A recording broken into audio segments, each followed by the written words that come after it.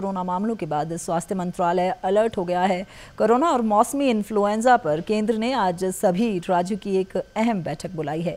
पिछले कल भी मन की बात कार्यक्रम में प्रधानमंत्री नरेंद्र मोदी ने कोविड के बढ़ते मामलों पर चिंता ज़ाहिर करते हुए देशवासियों से एक बार फिर एहतियात बरतने की अपील की है।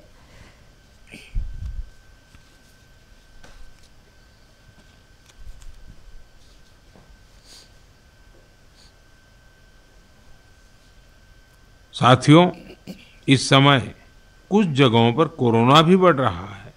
इसलिए आप सभी को एहतियात बरतनी है, स्वच्छता का भी ध्यान रखना है। इधर प्रदेश में भी पिछले कुछ दिनों से कोरोना के मामलों में लगातार वृद्धि जारी है। बीते 24 घंटों में कोरोना के 15 नए मामलों की पुष्टि हुई है और इन मामलों के साथ सक्रिय मामलों की संख्या बढ़कर 415 तक पहुँच गई है। हालाँकि इस दौरान नौ लोगों ने कोरोना से जंग भी जीती है। पिछले कल कोविड संक्रमण से कांगड़ा ज़िले में एक महिला की मौत हुई है। प्रदेश में अब तक चार हज़ार एक सौ पचानवे लोगों की मौत हो चुकी है और इस बीच प्रदेश सरकार ने भी कोरोना को लेकर एडवाइजरी जारी की है।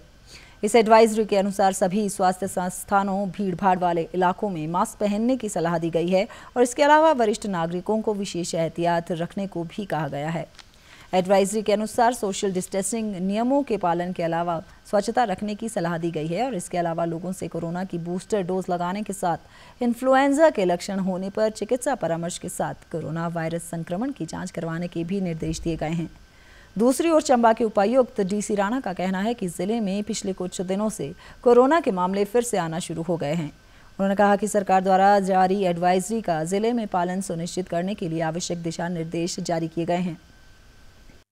अभी कुछ समय तक हमारे पास चंबा जिला में जो कोविड के केसेस थे लगभग नाम मात्र के थे। और ऐसा भी समय आया जब कोविड के एक पॉजिटिव पेशेंट ज़िले में रह गया था। और हमारा जो कोविड के जो हॉस्पिटल्स हैं केयर सेंटर हैं उनमें भी कोई भी पेशेंट नहीं था। लेकिन अब धीरे धीरे चंबा ज़िला में भी अब कुछ समय से पॉजिटिव केसेस जो हैं वो बढ़ने लगे हैं। और पूरे देश में जिस तरह से कोविड को लेकर एहतियात बरती जा रही है तो आपदा प्रबंधन अधिनियम में एक आदेश डीडीएमए की तरफ़ से हमने जारी किया है।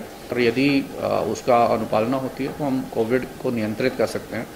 तो इसलिए सभी लोगों को ये निर्देश भी दिए गए हैं और मेरे सभी से अनुरोध भी है कि बिना मास्क के पब्लिक प्लेस में ना आए।